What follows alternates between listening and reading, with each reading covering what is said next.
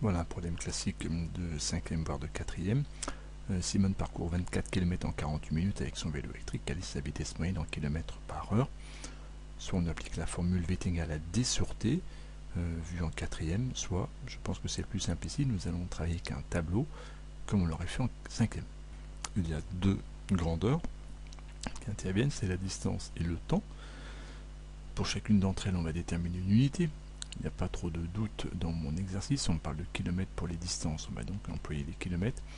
Pour le temps, on pourrait choisir heure ou minute, il est souvent plus simple lorsqu'on a un doute de prendre l'unité la plus petite, donc ici les minutes. Mon énoncé me dit que Simone parcourt 24 km que je place ici en 48 minutes que je place là. J'ai donc rempli la première colonne. Je cherche maintenant sa vitesse moyenne en kilomètres par heure. Je cherche donc le nombre de kilomètres qu'elle va faire en une heure, c'est-à-dire en 60 minutes. Je vais appeler x la distance parcourue donc par Simone en 60 minutes. On obtient donc, soit en produit en croix, soit en observant une linéarité ici, de 24 pour aller à 48, c'est donc une multiplication par 2. Donc pour aller de la ligne du bas à la ligne du haut, on divise par 2, 24 est la moitié de 48, donc x est la moitié de 60, x est égal à 30. Peu importe la façon dont on procède, on obtient donc x est égal à 30, ce qui permet de conclure que Simone roule à 30 km par heure.